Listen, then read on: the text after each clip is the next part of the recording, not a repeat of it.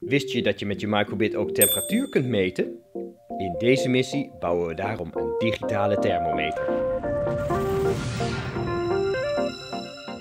Je microbit zit vol met sensoren. Zo zit er een digitaal kompas op, zodat de microbit weet welke kant hij opwijst, maar ook een bewegingssensor, waarmee de microbit beweging als schudden of snelheid kan meten. Als je de digitale dobbelsteen of de micropad hebt gemaakt, heb je deze al een keer geprogrammeerd. Is dit de eerste keer dat je met de microbit werkt? Dan is het handig eerst deze missie te doen. Daarin laat ik je zien wat de microbit is en wat hij allemaal kan.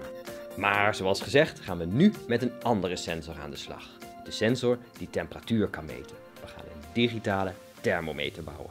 Wat heb je daarvoor nodig?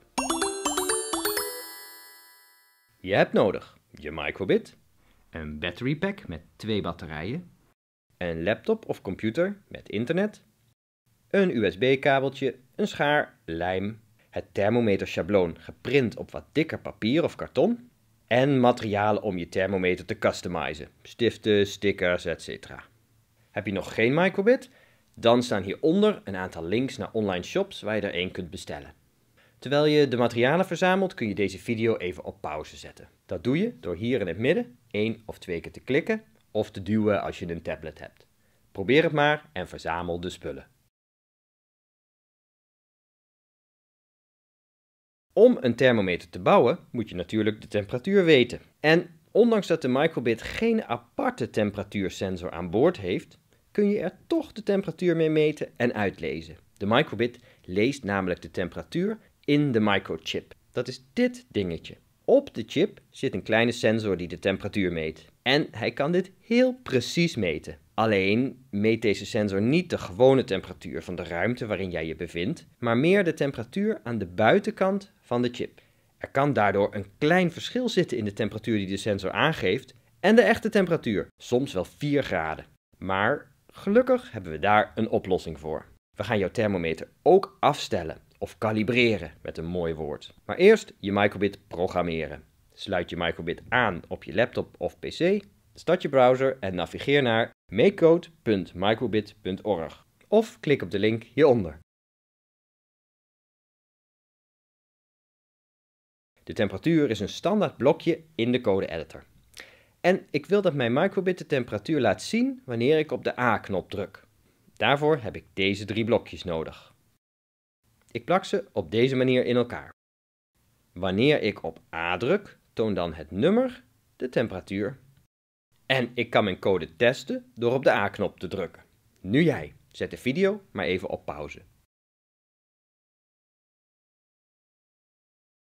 We gaan nu de code naar je microbit sturen. Om de code naar je microbit te sturen gaan we eerst de code downloaden naar je computer. Klik daarvoor onderin op de knop Download.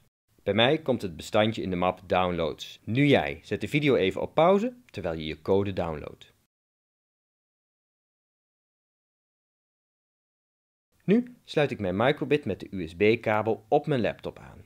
Er verschijnt nu een nieuwe drive, microbit. Nu sleep ik het bestandje naar mijn microbit en hop, hij staat erop. Nu jij.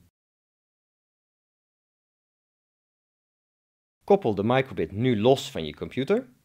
Hij krijgt geen stroom meer, dus besluit eerst de batterijen aan en druk op de A-knop. Nou, dat was eenvoudig toch? Maar we weten dus nog niet zeker of de microbit wel de juiste temperatuur aangeeft. Daarom gaan we hem nu afstellen. Zoek daarom nu de dichtstbijzijnde thermostaat van de verwarming. Deze geeft altijd de temperatuur in de kamer aan. Heb je hem gevonden? Druk dan op de A-knop en vergelijk de temperatuur die je microbit aangeeft met de temperatuur die de thermostaat aangeeft. Het kan dus zijn dat de microbit en de thermostaat verschillende waarden aangeven. Wat ik wil weten is het verschil tussen deze twee temperaturen. De temperatuur kan zowel hoger of lager zijn. Nu jij. Zoek een thermostaat en onthoud het verschil in plus of min ten opzichte van jouw microbit temperatuur. Terwijl je dit doet, kun je deze video even op pauze zetten. Gelukt? Mooi. Nu gaan we de code aanpassen. Uit wiskunde kies ik het blokje 0 plus 0 en sleep het naar mijn werkveld. Plaats het temperatuurblokje als eerste in het wiskundeblokje. Nu kan ik kiezen. Moet ik iets optellen bij de microbit temperatuur, dan laat ik de plus staan. Moet ik iets aftrekken, Dan verander ik de plus in een min. Als laatste vul ik het verschil tussen de microbit temperatuur en de thermostaattemperatuur in. Klaar, je thermometer is gekalibreerd. Nu jij. Maar ik wil dat de thermometer mij behalve de temperatuur ook vertelt of het lekker uh, koud of warm weer is. Dan weet ik tenminste welke kleren ik die dag moet aantrekken. En om dat voor elkaar te krijgen, ga ik mijn script iets uitbreiden. Eerst met een variabele voor de temperatuur. Een variabele is een plekje in het geheugen van de computer waar je een bepaalde waarde, bepaalde informatie kunt opslaan. In dit geval de temperatuur. Want als ik de temperatuur één keer in het geheugen van mijn computer, de microbit, opsla, kan ik het daarna de rest van het script meerdere keren heel gemakkelijk uitlezen. We maken dus eerst een variabele voor temperatuur aan. Het is een goed idee om de variabele een beschrijvende naam te geven. Ik noem hem daarom logisch temperatuur.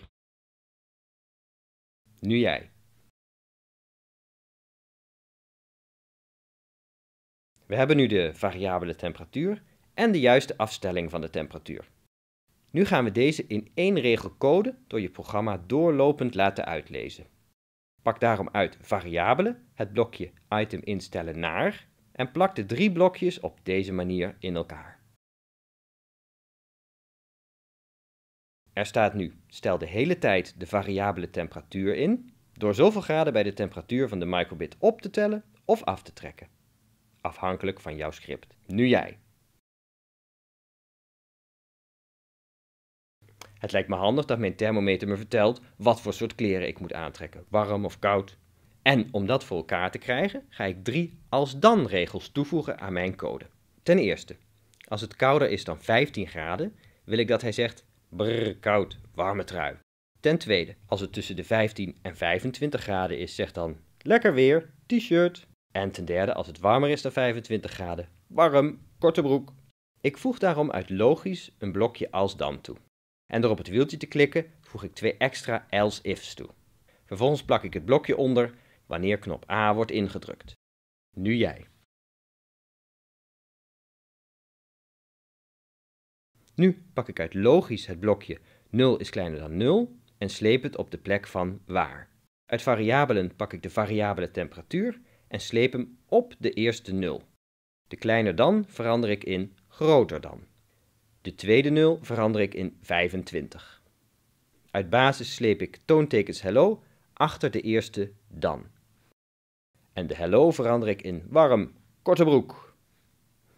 Er staat nu, als de temperatuur meer dan 25 graden is, toon dan de tekst warm, korte broek. Nu jij weer. Je mag natuurlijk ook je eigen teksten bedenken.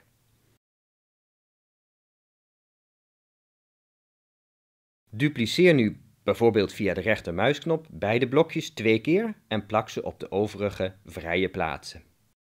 Verander dan bij het middelste blokje de 25 in 15 en de tekst in lekker weer, t-shirt of de tekst die jij wilt.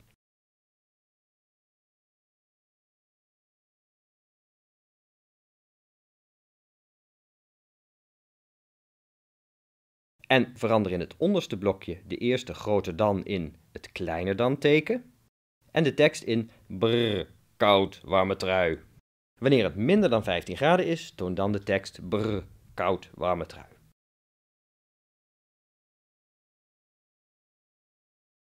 Klaar!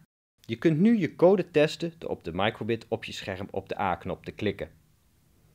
De microbit op je scherm geeft een standaard temperatuur van 21 graden aan. 21 is kouder dan 25 graden, maar warmer dan 15 graden. Dus Kun jij voorspellen wat de microbit gaat aangeven bij het testen? Als het lukt, super. Is het niet gelukt, spoel dan de video even terug en check stap voor stap of jouw script, de blokjes, precies hetzelfde zijn als het voorbeeld.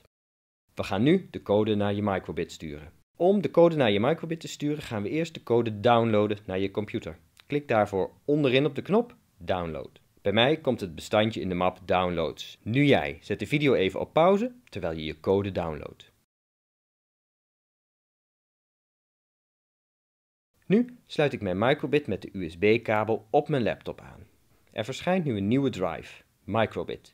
Nu sleep ik het bestandje naar mijn microbit en hop, hij staat erop. Nu jij. Koppel de microbit nu los van je computer. Hij krijgt geen stroom meer, dus besluit eerst de batterijen aan en druk op de A-knop.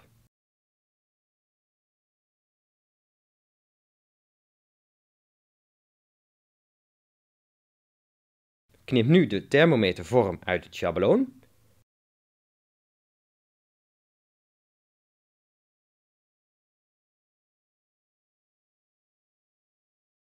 En plak hem vast. Plaats de microbit op deze manier in de houder. En customize je thermometer zoals jij hem mooi vindt.